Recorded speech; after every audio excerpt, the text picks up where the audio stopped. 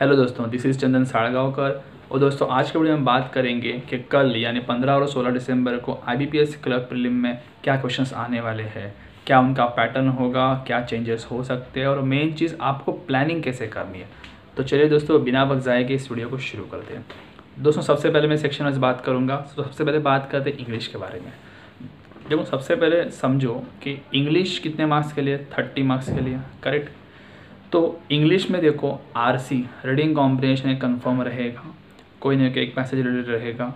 दूसरी चीज़ errors sentence errors then fillers fillers मतलब fill in the blanks एक single filler और सेंटेंस या फिर फ्रेज रिप्लेसमेंट रहेंगे।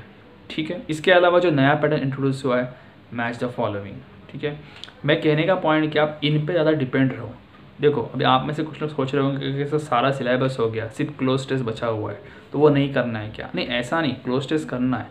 लेकिन देखो, जो पेपर चल रहा है, जो आठ और नौ दिसंबर को, उसके हिसाब से शायद ही कोई थर्टी में से थर्टी करेगा इंग्लिश ठीक है? ऐसा नहीं कि आप कर नहीं सकते बट कहीं ना कहीं आपको सेफ़ साइड भी रहना है, कि निगेटिव मार्किंग ज़्यादा रहे तो 20 या 20 से 24 के अगर प्लानिंग है अटेम्प्ट की तो कहीं ना कहीं आप इन चैप्टर पर डिपेंड रहो। आरसी में मानता हूँ कि वो पढ़ना थोड़ा मुश्किल होगा, लेकिन आप सिमिलर और अपोजिट वर्ड सिर्फ़ निकाल के वो चार मार्क लेके जाओ। अगर उस तरीके से सेवन मैसेज आया तो।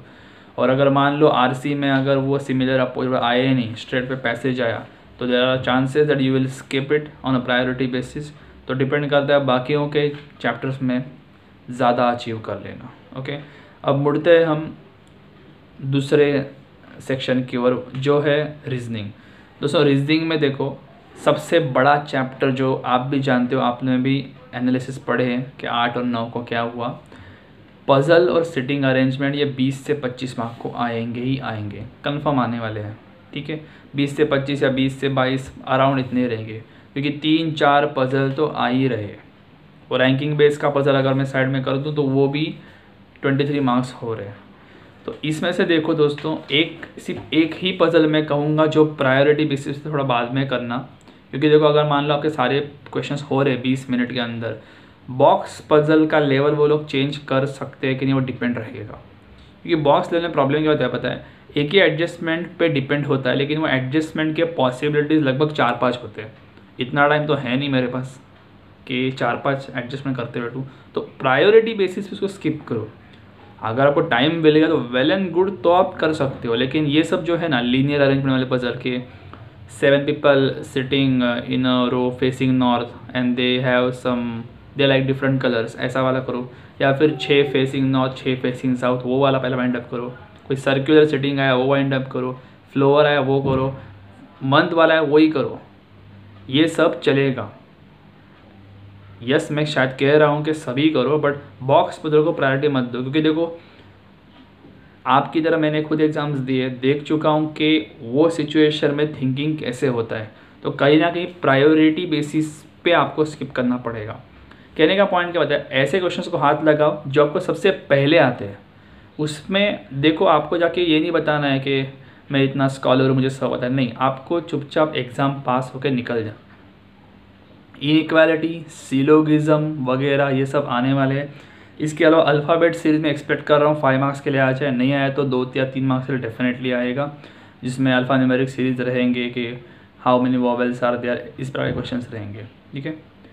देखो, आज का मैं जो आई टॉपिक्स का मेरा प्लान था, मैं वो डिस्कस कर रहा हूँ। सारी चीज़ें डिस्कस करूँगा तो वो तो एनालिसिस ही हो जाएगा। तो इन पे आप डिपेंड रहो और मैं चाहता हूँ प्रीलिम्स के लिए आप पजल्स पे डिपेंड रहना क्योंकि एक पजल पाँच मार्क जेब में, एक पजल पाँच मार्क जेब में। तो कहीं ना कहीं इस प्लान को बारीकी से सोचो। पजल्स डुएबल है, बहुत ईजी है। आई एम श्योर आपने मॉक टेस्ट में सॉल्व किए, बहुत ईजी लेवल के है। तो ईजी लेवल में क्या होता है दोस्तों बताए? आप भी करोगे, आप जैसे सौ लोग और करेंगे, लेकिन कौन कितने पज़ल करेगा? क्योंकि कट ऑफ़ में फ़र्क करेगा। इसलिए बताऊँ रीजनिंग को लाइक अ स्वीट डिश समझना। जितना खा सकते हो, उतना खा लो। जितना कमा सकते हो मार्क्स कमा लो। ताकि दूसरे सेक्शन पे बर्डन थोड़ा कम आए।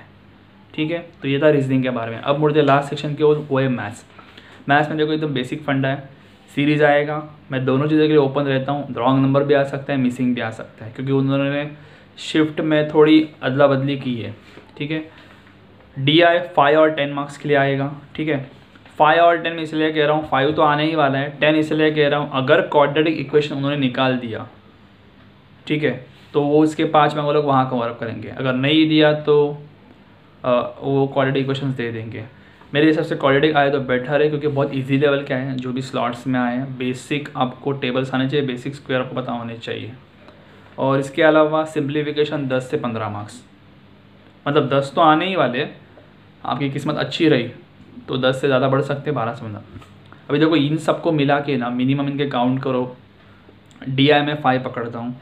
सीरीज़ फाइव पकड़ता हूँ सिंप्लीफिकेशन दस पकड़ता हूँ और क्वालिटी इक्वेशंस फाइव क्वाड्रेटिक नहीं है तो डी आई टेन ये पच्चीस मार्क लगभग पच्चीस मार्क आपकी जेब में जाने ही चाहिए और इनको ही प्रायोरिटी रखना। इनके अलावा भी बचा गया एक ही चीज़ बची है मिसलेनियस मिसलेनियस में क्या होता है? दस बारह चैप्टर होते हैं। कोई भी आ सकता है compound interest time and work boats and streams profit and loss average ratio मैं ये नहीं कहता ये डिफ़िकल्ट है, लेकिन आप अलग अलग आपको दिमाग लगाना पड़ता है इसके लिए। इसलिए कहता हूँ, इन चैप्टर्स पे जब जाओगे आप, ये पाँच पाँच मार्क्स के, ये बल्क है, आपका दिमाग लगा रहेगा सीरीज़ चालू है सीरीज़ चालू तो पाँच आप लेके जा सकते हो।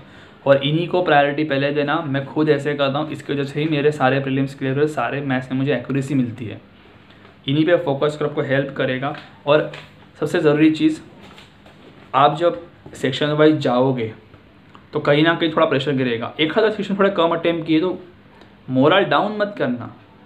सिर्फ़ नया पार कर दो, चलेगा। मैंने खुद कई बार ऐसे, जब मुझे दिक्कत हुई, मैंने इंग्लिश को सिर्फ़ पार करवाया और रीजनिंग में मैंने पूरा मेला लूट लिया कि तीस अचीव किए थर्टी टू मिले थर्टी थ्री मिले, ऐसे मैंने किए हुए हैं।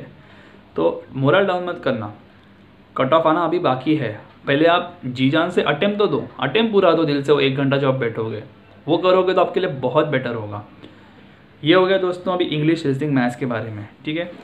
अभी वन डे टू गो है, आज रिलैक्स करो, एक आधा मॉक टेस्ट कर रहे हो तो बस, और ज़्यादा कुछ ओवर पढ़ाई मत करना, ठीक है?